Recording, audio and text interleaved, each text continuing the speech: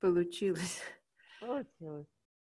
Да. Так, э, тогда мы сейчас продолжим э, чтение. Там э, мы еще не закончили про благословение. Это я вам послал 10 файл. И это поразительный такой кусок сейчас у нас есть. У кого есть, э, можно открыть его э, в Word. Э, не менее поразительный тот факт, говорит э, Маниту, и это действительно, мы никогда об этом не задумываемся, или редко об этом задумываемся, что чудо, прямое вмешательство Творца мира всегда сопровождается катастрофами для человечества. То есть мы как бы всегда говорим о чуде, предполагаем, что это будет что-то замечательное, там, э, никто не уйдет обиженный, всем раздадут по плюшке. Если уж он такой великий, замечательный, прекрасный и добрый, и всем все дадут, и никто не будет больше страдать, все будет хорошо.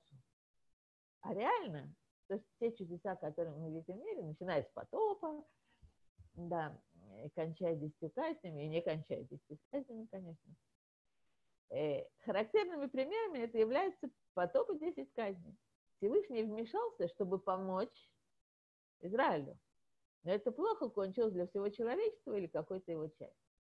Мы видим, что когда э, история заходит в тупик, как вся история всего человечества, так и история Израиля.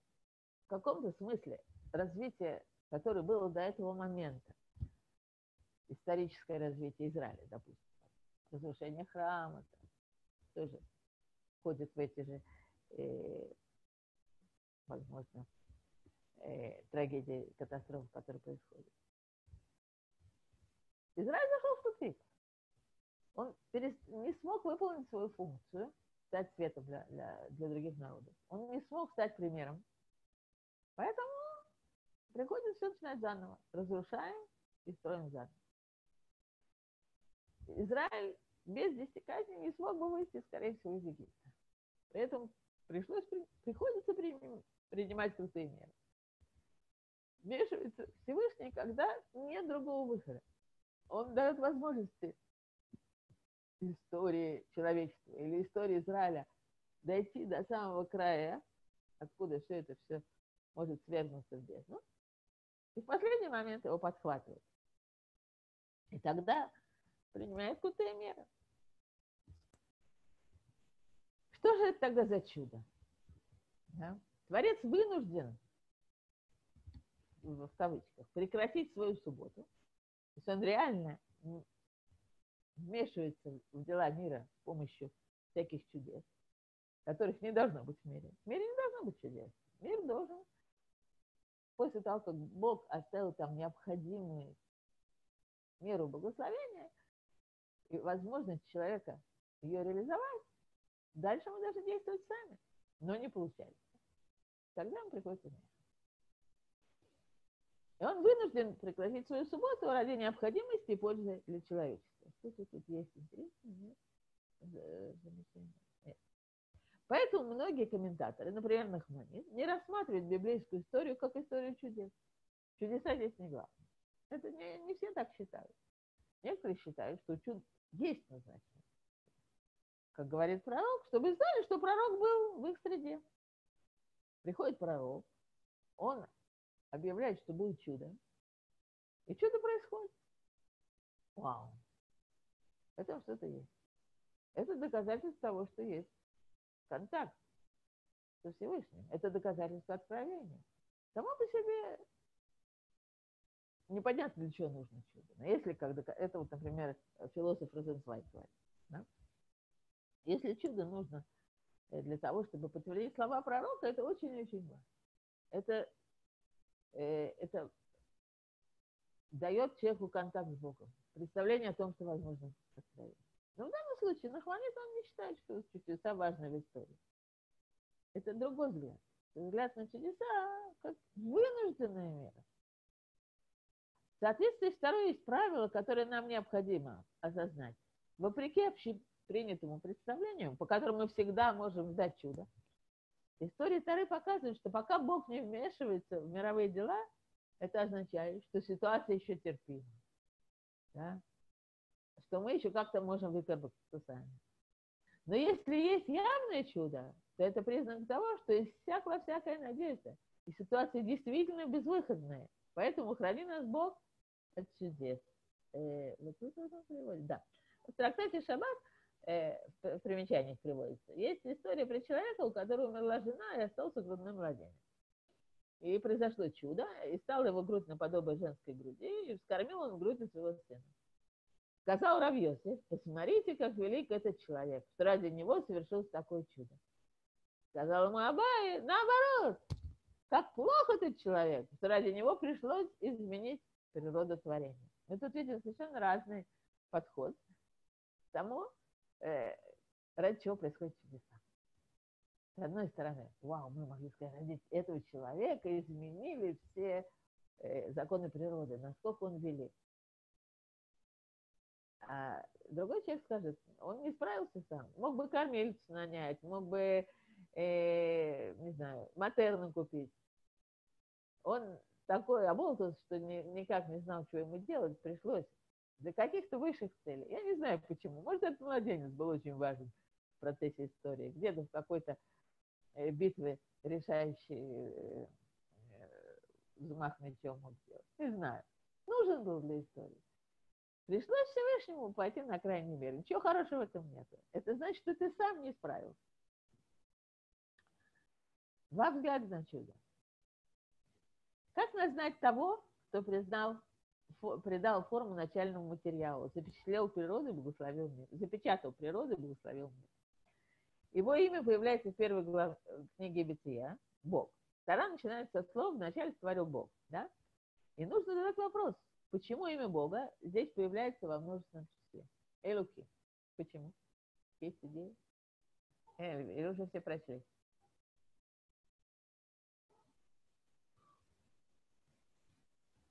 Я прочла. Ну, пройдем дальше. Э, есть ли связь между этим именем и делами Бога, описанными здесь, делами творения? Тара отвечает, это имя обозначает э, божественное качество открываться через природу. Действительно, мы во многих местах встречаем, что Илуким – это законы, это природа. А, и поскольку мир природы, о, поскольку мир природы – это мир множественный, природу, которую Бог творил шесть дней, она все время э, множится и множится. Начинается с того, что небо и земля, а две сущности, потом суша, вода, птицы, породы их, растения, породы их, э, животные, породы их все больше и больше, больше всего и разного. Мир природы – это мир множества. И это э, а, а, означает один из общих таких принципов, что в нашем мире единство Всевышнего открывается через множество. И я когда-то это объясняла, могу еще раз объяснить. Это на наглядном примере, что для того, чтобы, например, покрыть прямую точками, нужно бросать точки в разные места. И тогда мы дойдем до этой единой прямой. То же самое там плоскости. Мы должны нарисовать много-много, чтобы заштриховать плоскость, много-много-много разных прямых. И для того, чтобы освоить некоторый более высокий уровень, который представляет из себя единство, мы должны его охватить со всех разных сторон, через множество. Таким образом, природа от, отражает Всевышнего, но отражает его через множество. При этом, значит, поэтому Бог называется Луким, потому что э, дуальность – это минимальная часть природы. Минимальная часть множества. То есть весь процесс создания, совершения и завершения природы – осуществляется Творцом в качестве Бога. То есть все время происходит это вот умножение через Илуки. Только во второй главе в подведении итогов творения появляется полное имя Бога, более высокое, имя единства. Да, там сказано, вот происхождение неба и земли при створении их во время создания Господом Богом земли и неба. Однако подготовка к этому появляется намного раньше.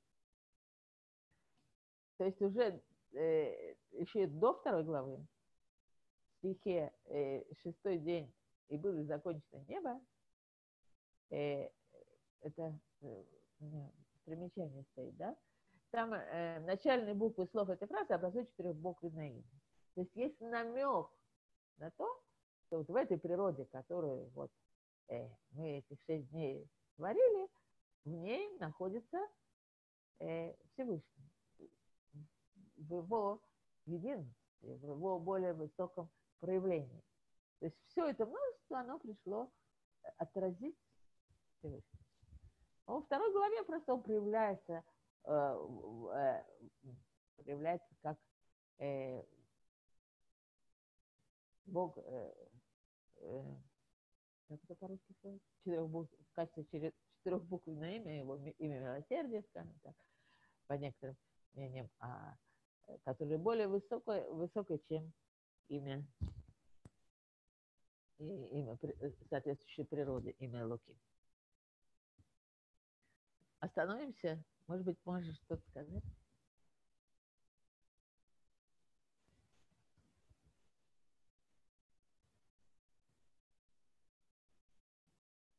Лена, есть у вас? Да, да нет, я что-то так.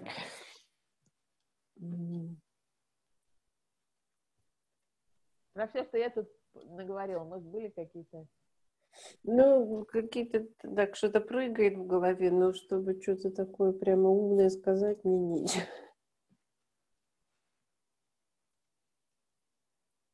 Я единственное, что еще до этого, как до записи мы начали, ну, это опять назад возвращаться, вот то, что, то, что вот, да, то, что вот змей, да, это если человек не моральный, Является ли это тоже сознательным выбором человека?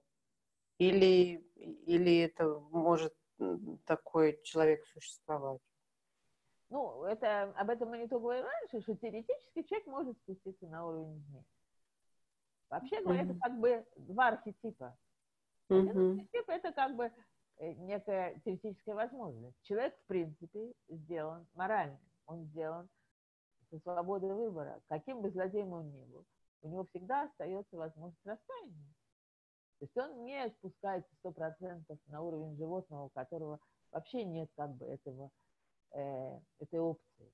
То есть такое ощущение, что свобода выбора все-таки в этом мире в полной степени, свобода вот именно морального выбора, она есть у человека.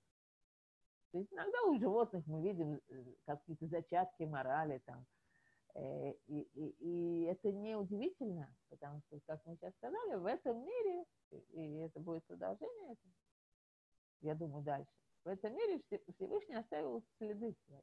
Он оставил э, э, вот этого своего благословения, э, на основе которого человек, который помогает ему сделать выбор. То есть этот мир не полностью это отсутствие Всевышнего, оно не полное. Он где-то здесь есть. Но его надо найти. Его надо искать. Его можно раскрыть. Ну, может быть, вот не то, что, ну, понятно, что надо найти какие-то проявления, да, но получается, что можно находиться все время на том уровне, когда вот он во множественном, да, в проявлении природы, то и, есть... не, и не видеть... Э, да, и не видеть единства. Совершенно угу. верно. Совершенно угу. верно, да. Это, это, это параллельные как бы вещи, да. Это как бы разными словами, может быть, он тут хочет сказать одно и то же. С одной стороны, вот есть это благословение э, в мире, который свидетельствует о Всевышнем, и ты можешь его найти здесь, и, и, и, и твой выбор, он э, основывается на, на каких-то вещах которые, этого мира, на самом деле. Ты в этом мире делаешь свой выбор. Ты, ты э, в конечном итоге находишься в рамках традиции, культуры, опыта, миллион вещей, которые, которые, э, которые привязывают тебя к этому миру. Но ты знаешь, что э, божественная душа дана тебе сверху, чтобы вот здесь вот реализовать э, божественный план. Не, не, то есть у этой природы есть как бы два лица. Ты можешь видеть на нее только это отсутствие Бога. Или, или знаешь, за всем этим Бог существует. Поэтому, э, в общем, как бы, э, э, э, это вот миссия человека э, делать моральный выбор в мире, она не безнадежна. А иначе, а почему? Он, мне, он, да, он мне объяснил, он требует от меня морального выбора. Откуда я знаю? Как мне правильно поступить? Это твоя личность, это твоя душа. Она должна искать, искать вот между э, выбором, который в этом мире предоставлен, какой выбор от тебя ждет Всевышний. Э, где он здесь находится.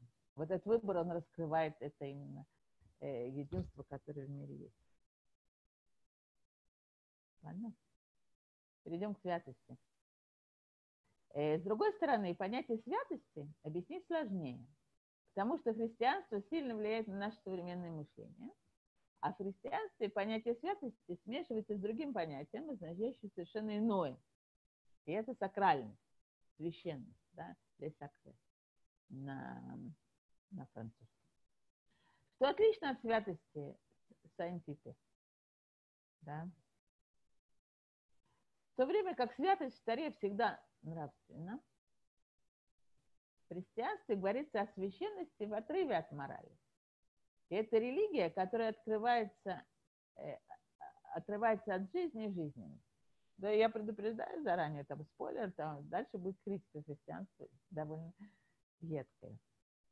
Э, я думаю, что когда Манито это преподавал, он это сглаживал каким-то своим таким мягким юмором, своим добрым словом, потому что я когда-то слышала его лекции, он чрезвычайно приятное впечатление от его лекции, от его языка, от его тона.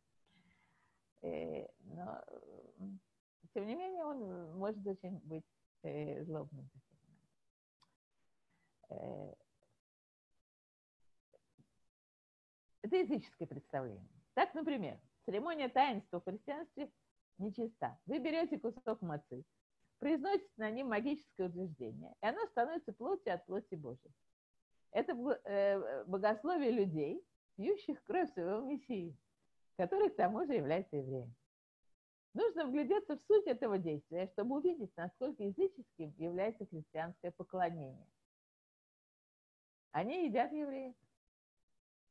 Что еще хотел добавить? Э, ну, ну, вот здесь немножко непонятно, почему он называет э, христианство неморальным, у них же тоже есть э, таинство. свои... А, конечно, а именно есть... таинство. Ну, ну вот я не знаю. Не то, что у них нет моральных требований. У них есть какие-то свои моральные требования. Но есть вещи, которые явно э, магические. Да? Вот он приводит пример таинства. Вот, вот они едят евреи, вот этим э, самым они причащаются к чему-то там высшему. Что там морально? Трудно очень найти здесь что-то моральное. Э, и дальше он объясняет, языческая святость христианства проистекает из концепции безграничной благодати, которая магическим образом достигается без необходимости труда. Вот в этой точке есть как раз и разногласие. Без необходимости труда, приложения усилий или морального поведения со стороны человека. Ты вот несчастный, бедный, нищий духа, ты блаженен. Ты, тебе не нужно быть моральным. Не то, что христианство не требует морального поведения. Оно требует. Конечно, нужно быть хорошим, не надо быть плохим. Это все говорят. Но есть вещи выше этого. Да, класси... я тут не, не маниту, я не специалист по христианству, но возьмем эту классическую э, притчу про э, Марию и Марсу. Помните, да? Кто там был христианство? Она, одна сидит там, а, значит, готовит, жарит, печет, убирает, гладит, стирает и все такое прочее. А сестрица там сидит смотрит в глаза учителя. И он говорит, это благая, она избрала благую, благую долю. А когда Марфа жалуется, что типа на нее свалили всю черную э, работу по дому, ты говорит, суетись, суетись, суетись со мной, вы нафиг вообще суетиться, сама виновата. Вау. А, она избрала благую долю. Она сидит там, царит, а, а сестрица там Да? Ну, вы в курсе этой притчи, да?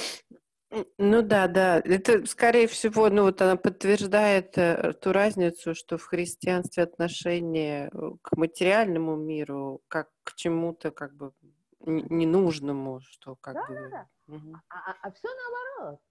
Мы должны этот мир исправить, мы должны его поднять, мы должны в нем работать, работать в нем, вот творить, гладить, да, вот Марфа это еврейка она была. Ну, они оба были еврейки, конечно. Но она делала правильно все. Она готовила, она убирала, стирала, гладила, обслуживала всех, учителя в том числе. А он того, чтобы сказать спасибо, извините. Ну, двух христиан, по-моему, нет, но, но все-таки мне всегда было досадно. Потому что я всегда была вот это, видимо, как это Марта, стирала, убирала, гладила и все такое. А, да, да. И, и мне казалось, что так и правильно, так и надо. Да? И я думаю до сих пор, что так и хорошо. А вот сидеть и смотреть, так сказать, чисто в духе. А мы должны этот мир э, преобразить, мы должны его исправить. И это моральное поведение. Моральное поведение, она заботится о своем ближнем. Она не, не, не делает деньги на бирже, там, не суетит с утра до ночи о, о том, чтобы как приумножить свое э, достояние, там, неизвестно зачем. Она заботится о том же самом учителе. Это, это моральное поведение. А сидеть и смотреть ему в глаза. Но даже если на бирже, то есть они что-то создают, то есть творят. Да, да, да, нет, я просто... А, а как бы эти ничего не создают, ничего не творят. Я сейчас вот подумала, собственно, что они Кто? пассивны, как бы получается. Ну, вот Мария там и все его очень... Ученики, да, они там, и мысли, я не говорю, так сказать, я не осуждаю. Есть люди, которые, вот, например, наш, не то, что это совсем, это, это так вот вопиюще, да, но наша традиция в Талмуде, она по-разному к этому относится. Есть люди, которые всей душой они преданы Таре. Они круглые сутки там, э, круглый год он находится у Рава, а, а семья, там, Раби Акива, например, да, там, 12 лет. А она там бедная, бьется, как рыба об лёда, сама там поднимает детей, его жена. Тоже так сказать. Э, это целый, целый набор э, в Талмуде, там целый, целый набор историй на эту тему, и совершенно не вывод, как правильно. Она сама так хотела, но он хотя бы сказал спасибо родителям. Да. Мое, он сказал, когда пришла его встречать, жена, ученики хотели ее оттолкнуть, а он сказал, не отталкивайте ее. Все, что я приобрел, ты, ну вот, во всяком случае, он ей э, поблагодарил ее за это, оценил ее подвиг. А есть очень критически относящиеся к этому э, Э, истории, где действительно э, вот эта такая самоотверженность, полностью отдача Тары за счет своих ближних, она вполне осуждается. То есть есть две стороны. С одной стороны, вот эта самоотверженность, изучение и стремление к единению и познанию, это, это, это очень важная вещь. Но в конечном итоге э, фокус, он все-таки на, на моральное поведение. Если при всем при том ты ведешь себя морально, какой бы ты гений там не был, и как бы высоко ты не пытался влететь, все остальное ничего не значит, не имеет значения. Э, э, то, э, да, без необходимости труда, сказали. Приложение усилий и морального поведения со стороны человека. Да. Ты не старался оно приходит к тебе автоматом. Тогда как Тара представляет другую концепцию святости, которую на этом этапе можно объяснить так. Именно для того, чтобы дать человеку возможность получить божественное благо по праву, а не бесплатно, чтобы человек смог реализовать свою свободу выбора и получить награду за приложенные усилия седьмой день. Творец преодолевает свое желание дать это бесконечное благо немедленно и безвозмездно, и отделяется от них. То есть всего как бы внутреннее желание это дать нам максимально всего, что мы можем, всего, что мы, мы хотели, могли себе представить еще больше. Но э, гораздо большая награда для человека это заслужить свое право на, э, на этот мир, построить его, дать, дать, стать партнером Всевышнего. И чтобы дать нам такую возможность, он уходит от этого, из этого мира.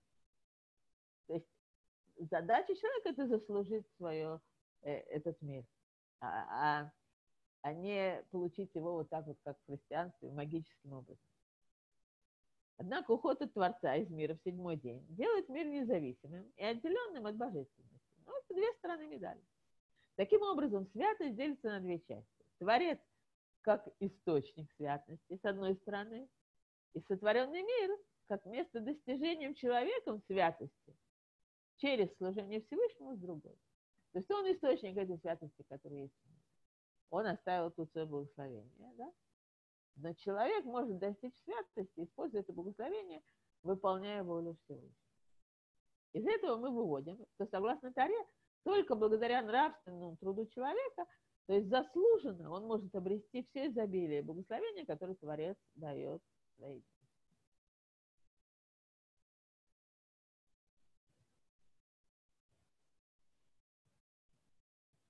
То, что там дальше мы получим по праву, невозможно сравнить с тем, что мы получили сейчас бесплатно в этом мире. Это еще к этому вернется. То есть мы все время как сказать, накручиваем э, наше понимание, на, но, э, выходим на новый виток. Есть вещи, которые мы уже как бы на одном определенном уровне услышали от монитора, на следующем уровне мы узнаем о них больше, понимаем их как-то глубже. Однако, чтобы человек смог удостоиться служить Богу через свободу выбора, Творец прячется, ну, это можно сказать. В природе присутствие Бога не проявляется в мире открыто, и поэтому мир становится адом. Да? То есть поскольку мы не видим в нем Бога, то вообще непонятно, ради чего здесь жить. И человечество знает об этом. Каждый здоровый человек ощущает душой ужасную нехватку в мире. Отношения человека с миром становятся проклятыми. Значит, он говорит легкими. Да? Клала, э, он связывается со словом каль. Клала – это проклятие, а каль – это легкий. То есть как бы в проклятии это квинтэссенция нехватки. Здесь, в этом мире, Бога нет. Это очень грустно. Сосудом, в котором меньше изобилия, чем он может вместить. Причина, по которой Творец перед исчезновением благословляет мир и добавляет к нему от божественного изобилия, заключается в том, что Творец осознает, как трудно для человечества жить в мире без откровения. Он уходит. Он понимает, что совсем без откровения он не может. Поэтому он оставляет здесь свое благословение, свои следы. Благословение – это след, который он оставил, который оставил в мире скрывшийся Творец. Только после того, как Всевышний благословляет мир и оставляет свои следы в благословении, он освещает мир. Он отличает себя от него. Да? А святость всегда говорит об... Э, у святости, как бы, понятие святости, душа, у нее есть два аспекта, как я понимаю. Во-первых, это отделение. То есть то, что э, свято, оно отделено. Бог свят, потому что он отделен от мира. Он ушел из мира, он от него спрятан. И там он свят, он от него отделен. Храм свят, потому что туда, там есть кодыш, кудашин, туда нельзя заходить. Он отделен. Там только есть места, где могут только кагены там. Это особенное место, отделенное. С другой стороны, святость, лягдиш, например, слово, посвятить, переводится, оно связано с целью какой-то. То есть вот это любое отделение или любое развлечение такое, как, э, как храм, например, святое место,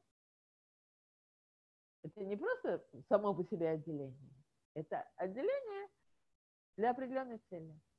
Когда я говорю, я посвятил эту вещь, означает, что я посвятил, в русском языке то же самое, да? Я посвящаю эту вещь для того-то и того-то.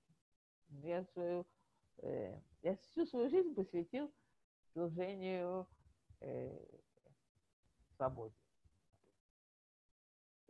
Целью моей жизни была свобода. Я ее посвятил, направил. Э, здесь есть, то есть у святости есть две стороны. Есть сторона отделения и есть сторона цели.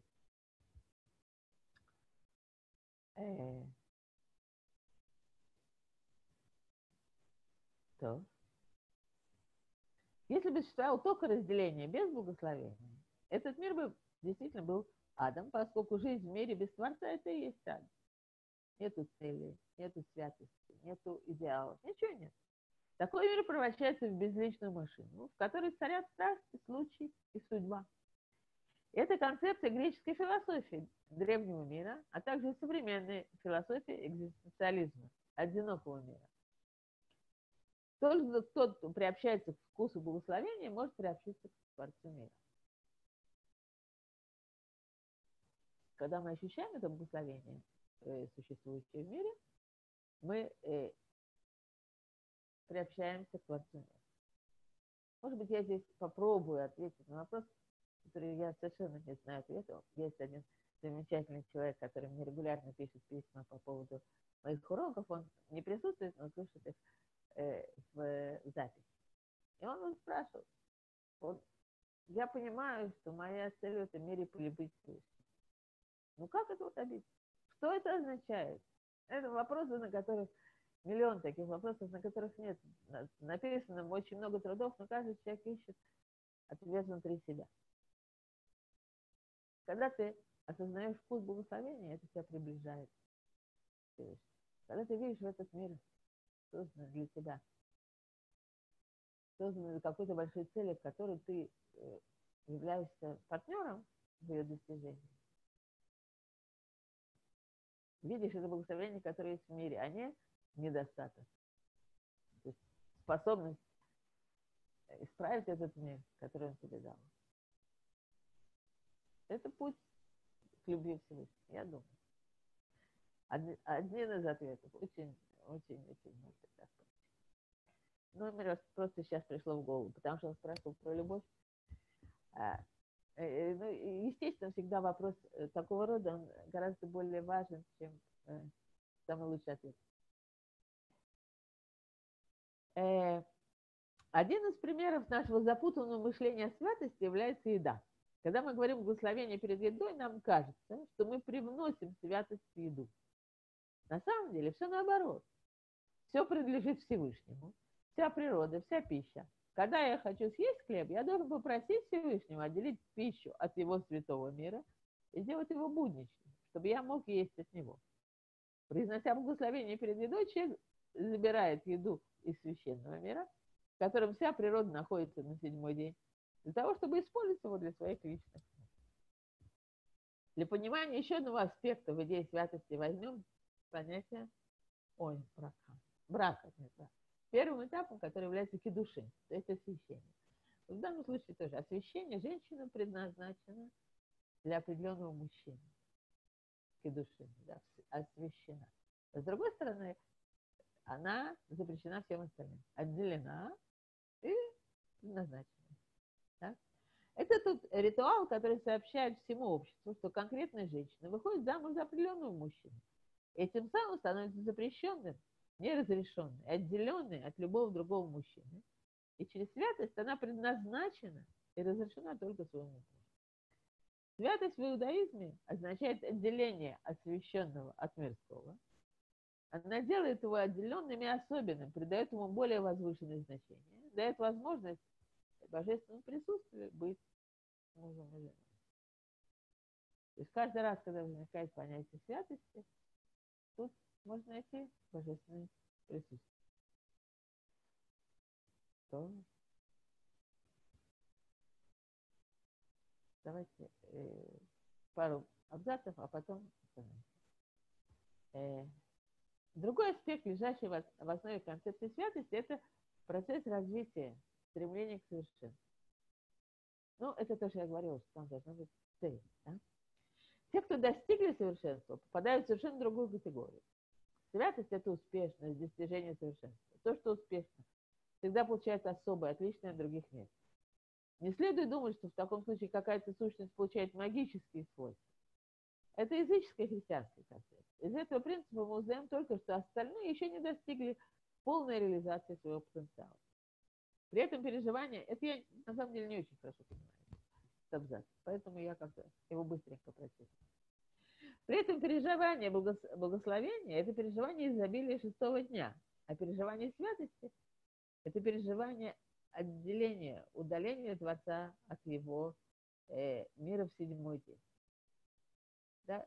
Э, То есть она двояка. С одной стороны, мы ощущаем, э, да, что святость есть, в этом мире, есть благословение, есть возможность продвигаться. А с другой стороны, мы ощущаем, что Творец отделился, и это довольно тяжелое переживание. Тяжесть этой ситуации заключается в том, что те, кто не переживает благословение в мире, действительно воспринимают его как мир недостаточный, проклятый, как ад.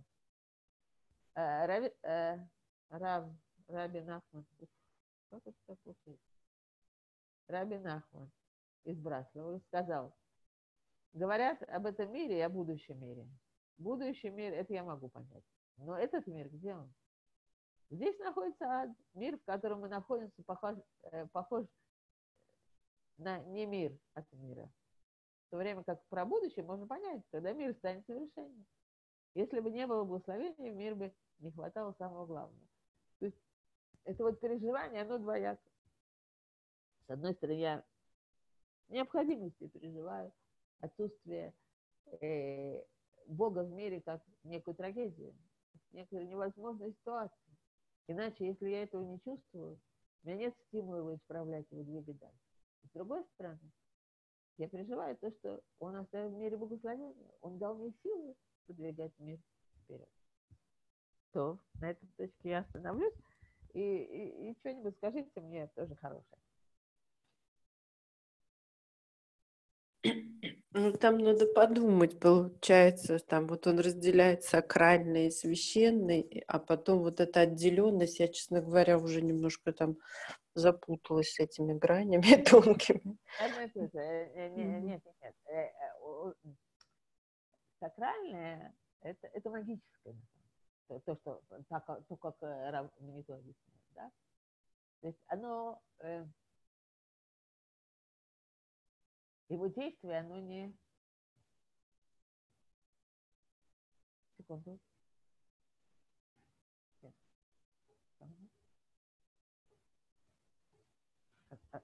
Давай, секунду.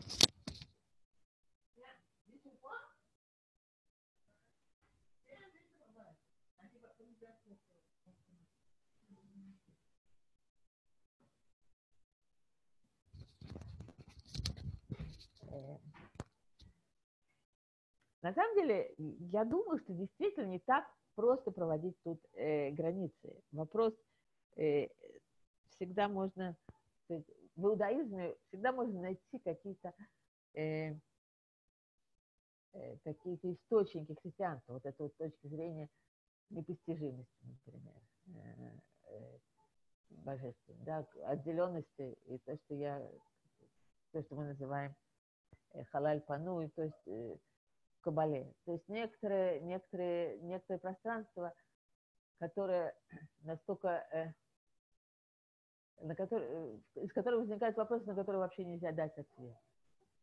Тяжелые, самые тяжелые вопросы э, в мире, да, то есть, но, э, как бы сказать, по, последняя черта все-таки э, это э, мне кажется, очень заметно, да, вот эта история Маты и, и Мари. Где мы ставим фокус? Мы хотим, чтобы ты здесь да, нашел Всевышнего в этом мире, не там. Хотя он спрятался, он ушел, но он оставил себе свои следы здесь. Чтобы ты здесь его нашел. Чтобы ты здесь работал и, и, и, и, вел, и, и, и сделал правильный моральный выбор. Да? А, а христианство ставит фокус на другом, на магическом, на, на, на сакральном, на закрытом, на непонятном. Главное, так сказать, это э, верь, и все тебе, все, все, все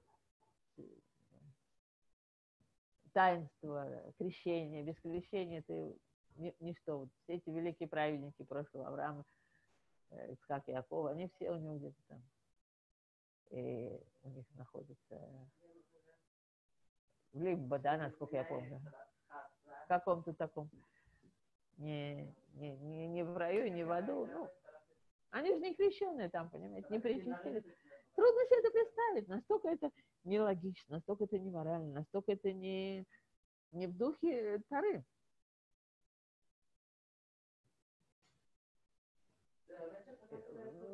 Здесь проходит какая-то граница. Всевышний... Ну, может, да, может, я не плохо в христианстве знаю, поэтому... Не может себя полностью открыть в этом мире, потому что тогда нам не, нечего тут будет делать. Вот в чем проблема. Все будет понятно. Все ясно. Да? Он не может, он, он должен мне дать здесь поле работы. Поэтому отчасти скрыть. Я должен э, э, находить правильный моральный выбор, но ну, есть какие-то намеки.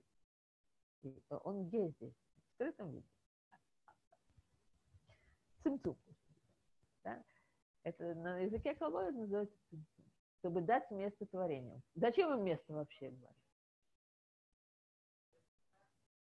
Нам всегда говорят, это моральный, мораль, первый главный моральный поступок Всевышнего, он дал нам место. Зачем нам место? Чтобы мы могли себя проявить, чтобы мы могли существовать. Потому что если был бы только он, мне нечего сказать. Мне все понятно, все ясно. А. Тебе учитель дал не только задачки, но сразу все решения. Ты не смог ничего сделать. Там ничего не смог. Ты, ты ничто. Он верит в нас. Он верит в то, что мы способны. Я каждое утро просыпаюсь, я говорю, как велика твоя вера в меня. Или наоборот, моя вера в тебя. Это как бы там не совсем понятно, э, как правильно переводить. Но он верит в нас. Он нам доверил очень важную миссию в этом мире – довести мир до совершенства, проявить себя – В христианстве это очень, очень э, мало проявлено. Хотя, с другой стороны, конечно, любая религия должна э, тебе говорить, что ты должен себя хорошо вести. Отделять десятину там на, на, на церковь и, и не обижать ближнего, потому что она должна на какой-то отсутствовать. В мире должен быть порядок. Но это вообще, не самое главное, я думаю. Хотя, конечно, она наша э, родственная религия, и я думаю, у него есть потенциал как-то. Ну, просто когда он говорит про вот эту отделенность, благословение через отделенность, да, ну, естественно, сразу ассоциация о, о народе Израиля, да, то есть вот это как бы получает благословение, отделенность от других народов. Да, но опять то же самое совершенно. Потому что у нас есть цель. Отделение для определенной цели. Да, чтобы прийти к другим народам. Чтобы их э, привести к Всевышнему. У него определенная, у него определенная задача. То есть отделенность, она всегда связана с какой-то целью. То есть то, что Бог себя отделил, это то, что мы наконец к нему пришли. Дошли до цели творения. Так мне кажется. Ну да, так больше понятно. Спасибо. Э, может быть, что-нибудь еще прояснится дальше. Потому что мы как бы все время э, касаемся одних и тех, более-менее одних и тех же тем в некотором развитии. Но на самом деле я раньше думала, что, что это некоторые, э, когда я первый раз читал книжку, я знала, что это компиляция из ну, то есть книгу э, сделала э, Гавриэла э, Баршмель, такая женщина, э, э, ну, из учеников э, Маниту. И она сделает его по, по его кассетам, по его урокам. Но я думаю, что это компиляция из разных уроков. На самом деле это курс. Она взяла курс, который Маниту читал, и вот она его перевела на иврит. То есть это сделала с кассет, но с кассет курса. И что поразительно, эта книга существует только на иврите. Ее нет на французском. Она взяла эти французские лекции, она их перевела на иврит и сделала книжку. То есть, на самом деле, три книги. Первая книга, вот это то, что мы, э, первый том, который мы э, изучаем, который решил перевести, а еще есть два тома. То есть третий вышел только сейчас, а второй уже несколько лет назад. Другие книги, которые сделаны тоже по всяким э, лекциям Маниту, они называются э, Сод Медраша Талдот, э, э, тоже тайна толкования Талдот. Это, это больше компиляции. Они взяты из разных-разных всяких уроков Маниту на разные темы и из них составили, эм, составили сборники. А вот то, что вот мы изучаем, это на самом деле курсы, поэтому действительно он построен таким образом. Можно увидеть это, что у него все время как бы эм, есть некоторые, он подводит некоторую базу, потом на нее э, возвращается к той же самой теме на, на более глубоком уровне. Вот у меня такое ощущение, во всяком случае, когда я читаю. Так что я думаю, что это еще немного прояснится в дальнейшем. Мне кажется. Надеюсь. Ладно, мы на этом тогда остановимся. Э, и, и, и всем... Э, если кто-то что еще... Да. Нет, я хотела сказать, что будем надеяться, что что-то еще дальше узнаем. Мне, мне самое очень интересно, э, хотя я понимаю, что тут есть очень много не стопроцентно понятных вещей, потому что это вообще не просто. Вещи. Он пытается просто простым философским языком изложить нечто, э, что здесь не всегда однозначно понятно. Ладно, ну всем всего хорошего. Спасибо, Нихама. Спасибо, Нихама. Всего хорошего. До следующей недели. До следующей недели. Ой, стоп, сейчас. Оп. Сейчас я не это делаю. So, we want to stop recording. Да.